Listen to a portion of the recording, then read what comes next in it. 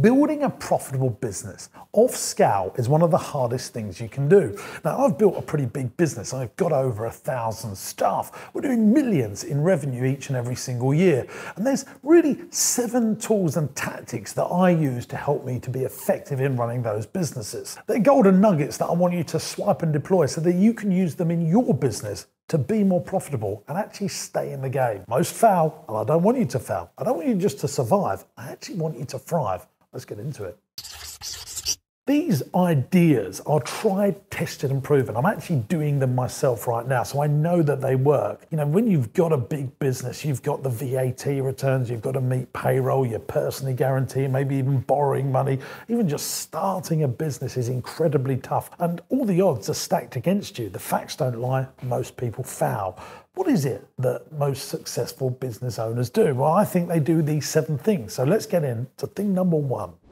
On the flip chart here is the first tool, the first tactic that I use in growing my business. I'm running 17 different brands right now, so it's really important that I have amazing management information. And on a weekly basis, I want to have dashboards, preferably on a daily basis. Now, I use a daily income sheet that produces my labor spend, my average customer value, and my income and customer count every single day across all my businesses and I look at them. And all my senior management team, my supervisors, my deputy managers, my managers understand those key numbers in the business. Now, you also want to be producing a monthly profit and loss. Business owners produce them quarterly or terribly, most of them produce them annually, and their accountant tells them how profitable they are. Remember, any long term viewers of this channel, you tell your accountant how profitable you are, and they're tax efficient for you. You should not be using your accountant as management information. In my opinion, if you want to get really good, that stuff must be done in house. If you're not doing it in house,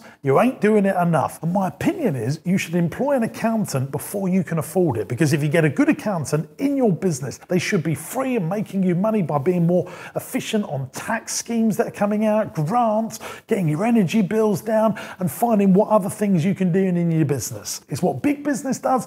And if small businesses did this, they would really, really go faster quicker.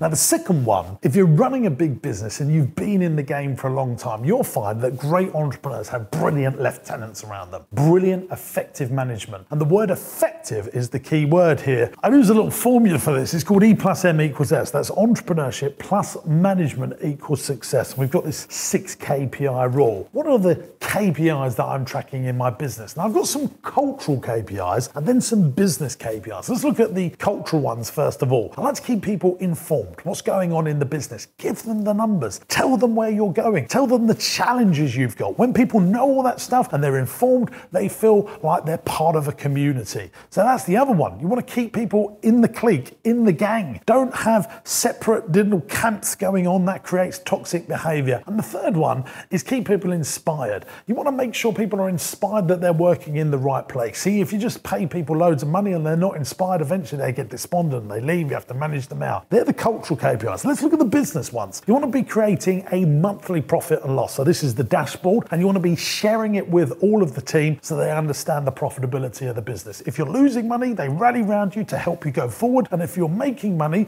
then they know that they're working for a company that's going to be in the game for a long time. And when they feel secure, they want to stay with you and they want to push the business forward even more. That's what happens. The next one is standing, understanding your average customer value. Now, listen, most businesses are just talking about their revenue growth, but actually, the smart thing is drive your average customer value growth up because you've already acquired that customer, so you haven't got any marketing spend, and usually that's a much more profitable thing to do. So let's drive average customer value rather than worrying about driving revenue up because the faster the average customer value goes up, usually, usually, the more profitable the business is. And then the third one is understanding your labor, your staffing salary compared to your revenue. What is your revenue per employee? And work out the percentage of that and make sure it fits in with your industry standard. Because the biggest cost usually walks on two legs, and we want to be managing that cost. If you don't have effective, great management around you, you will burn out and you won't be able to do the big things, the big thinking about running a business.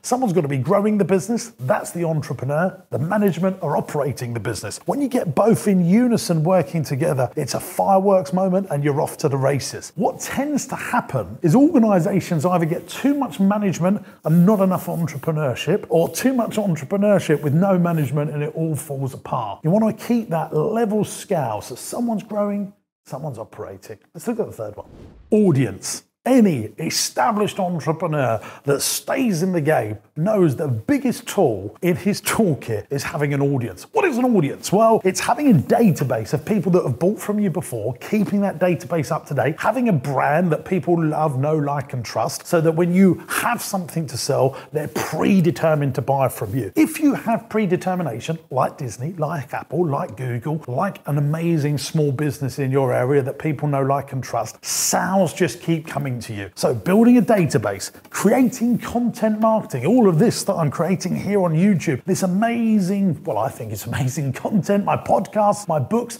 they help me build an audience so that if I need to sell something, the audience is ready to buy because they've consumed so much content. And the great news is, small business owners have more access and advantage of doing this than at any other time in history. Also, with an audience, you want to choose products and services where there's a audience that are ready to buy. What does that mean? Say you own a football stadium or you are operating in a football stadium and you've got a hot dog cart in a football stadium and there's 70,000 fans there. Some of them are going to be hungry. Maybe all of them are going to be hungry. And you've got a hot dog stand, there's a good chance that you're going to take a lot of money because of that hungry audience. What I tend to find is lots of businesses that fail, they don't have an audience, they don't have a database, they produce no content, or they've chosen a sector where there just isn't a hungry audience. Maybe they're too early into the game or too late to the game. A good example of being a business that's too late to the game is selling fax machines in 2023. So make sure you're relevant and there's a hungry audience out there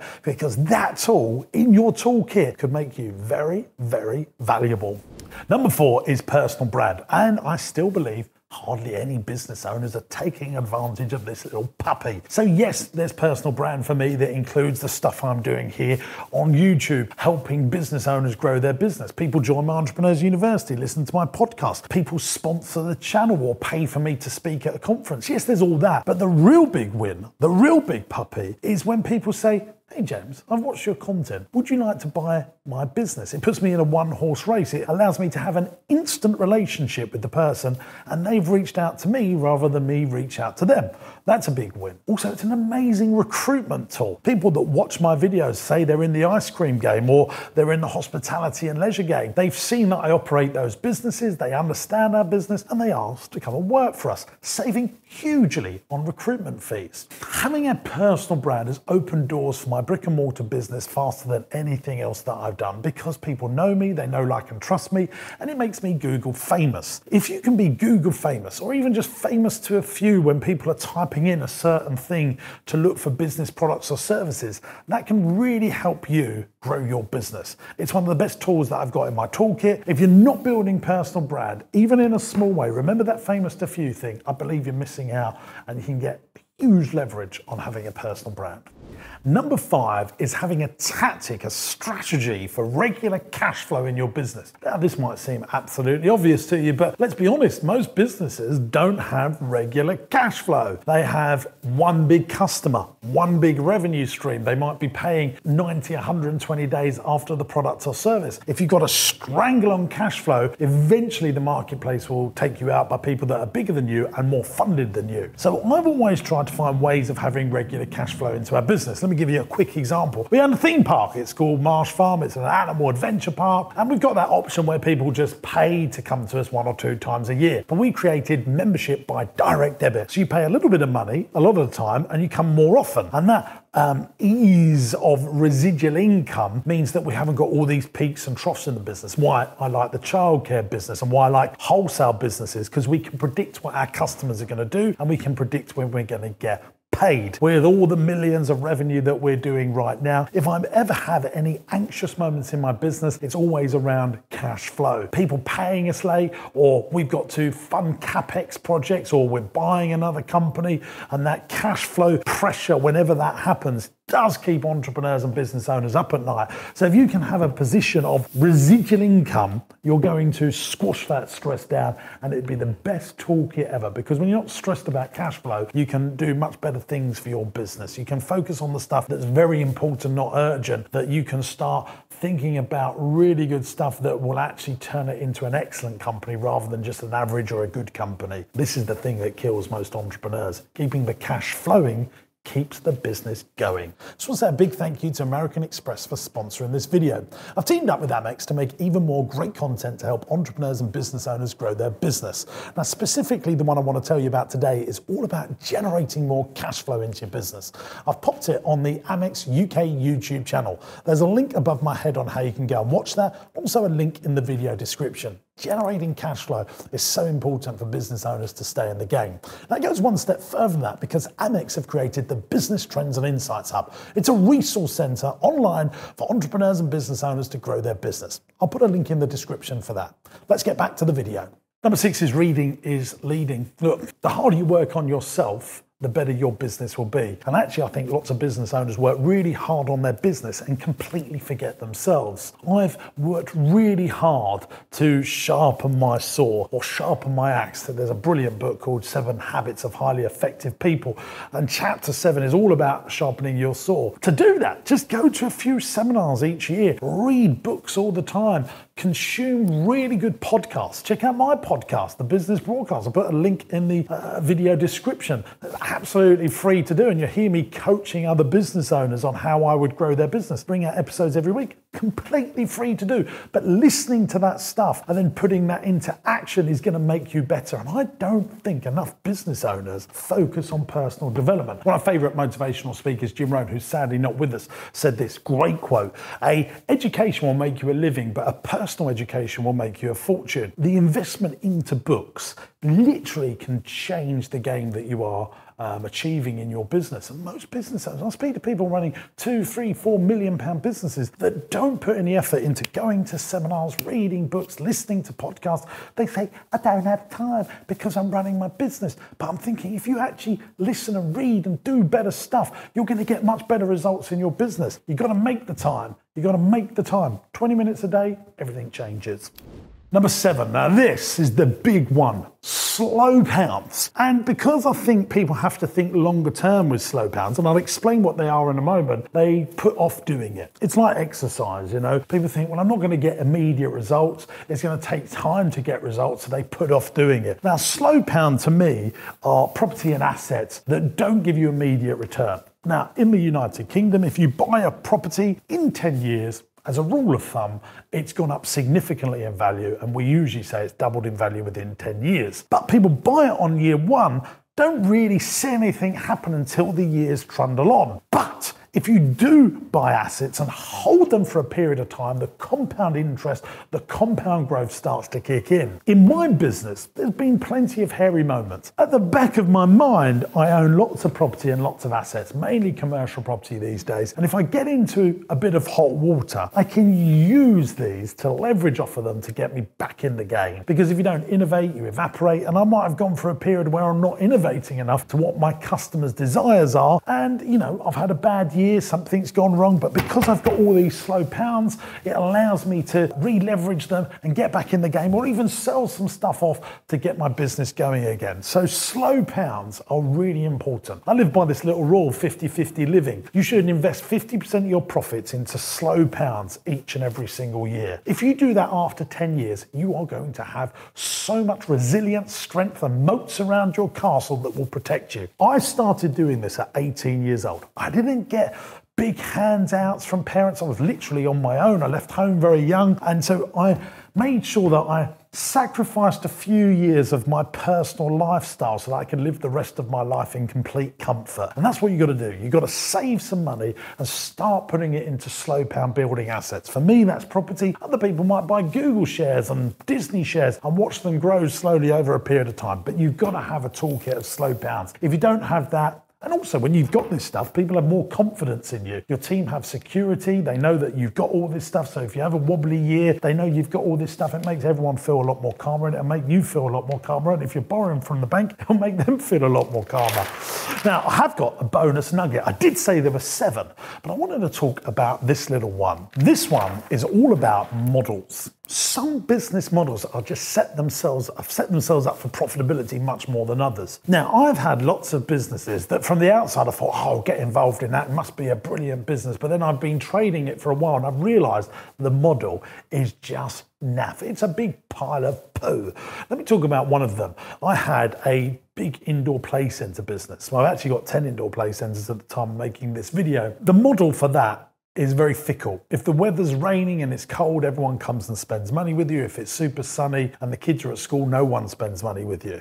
And so I looked at the model and I thought, I cannot get customers to spend money with us when the weather isn't in my favor or the kids are at school. So I had this big box. And what I did was add childcare to it. And that really improved the model. It took it from a business that made just okay money into a model that makes excellent money. And that's what you've got to focus on. You've got to look at your business and think, can I improve my model for profitability? Now, there's a great business, one I'm a massive fan of called Costco. Now, they're based in America, Europe, and here in the United Kingdom. The reason they are so profitable is because they just have a fantastic model. Now, on the face of it, it's just retail. Why are they doing so much better than, say, a normal supermarket like Tesco's or Sainsbury's? What's really impressive about them, when you look at a big supermarket like a Walmart store, they've got 120,000 different SKUs. That's the individual lines that they're selling in their shops. Costco have reduced that down to 3,800. They also have big stores where they don't need loads and loads of So they just put a pallet of goods out and people help themselves from the pallets. They've reduced their distribution costs. They usually sell out of their stock 12.4 times a year. Whereas you go to a Walmart store, it's only 5.4 times a year. That means they're actually selling all their stock before they actually have to pay for it. Can you understand that? Uh, that is just such a brilliant business model. And so what you've got to do is look at your business and go, do you know what? Have I got the best possible model? Do I need to tweak my model? Let's look at the restaurant game. I've got some restaurants in all of our leisure and hospitality businesses, and we're trying to tweak the model so that we de-skill them, so that we don't need expensive extraction or fryers, um, which all cost money and pushes your insurance up. Is there any way that you can look at your model and say, if we just tweak this, our profits are going to completely go through the roof? Because you don't want to be in that position where you just survive. You actually want to thrive. One of the best ways of thriving is understanding understanding the model and working out what you can tweak to turn it into a commercially profitable enterprise that over time eventually works without you in it. I hope you enjoyed this video. Make sure you like and subscribe. Let me know in the comments what sort of videos you'd like me to make. And if you've got anything that you want clarity on, hit them below. I'll do my very best to answer them. See you in the next one. If you would like to see me live at one of my seminars, you can book your tickets at jamessinclair.net. There's a link in the video description or on my website. See you there, gang.